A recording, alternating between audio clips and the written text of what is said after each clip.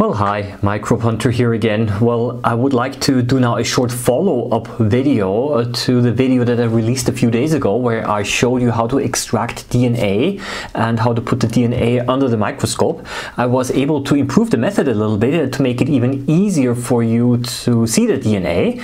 And that's the first thing. And the second thing is I want to say thank you to Thomas who actually sent me uh, some pictures of his own DNA that he was able to make uh, using the method that I presented. And I would like to also encourage you if uh, you also would like to make some pictures then please and share them with the rest of the microscopy community. You can send them to me. There's an email address here.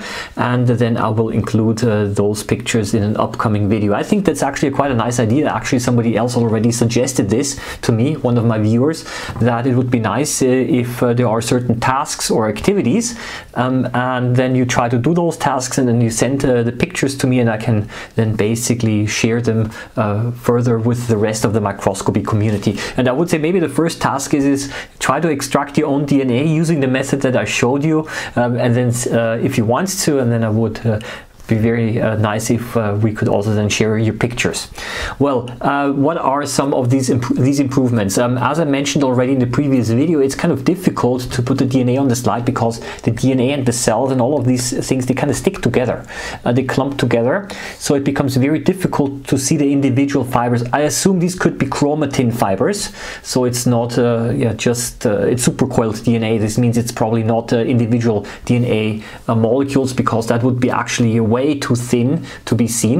Um, but uh, to get them separately, uh, more or less separate on a microscope slide, I recommend the following, that you do not uh, go in with a stick or with uh, some tweezers to pull out the, the DNA, but that actually you uh, take the whole slide and dip the whole slide into the alcohol and then carefully um, pull out the DNA um, from the alcohol using the slide.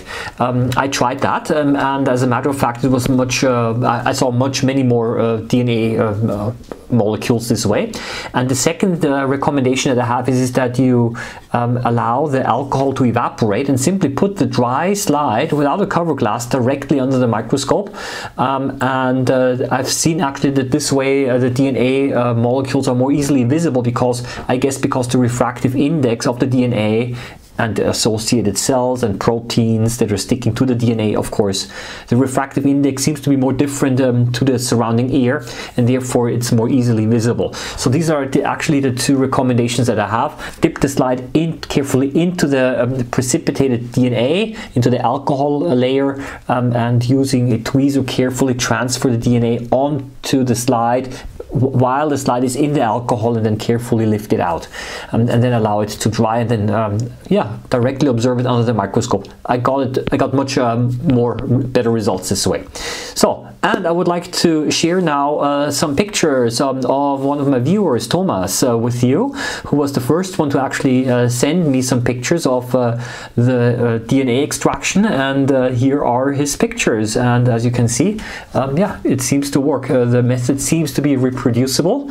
Um, this actually makes me quite happy. So it's not some kind of an artifact that I produced here, but evidently um, there it is indeed possible to get the DNA out this way and uh, yeah I encourage you also to try to try out this method and then um, also send me pictures as I already mentioned.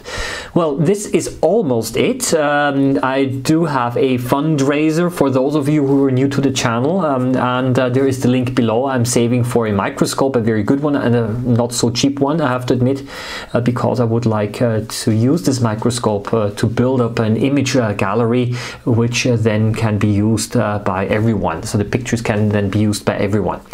And I would also like to ask you if you want to and if you're interested please do subscribe and I wish you all the best. Happy microbe hunting as always and see you around next time.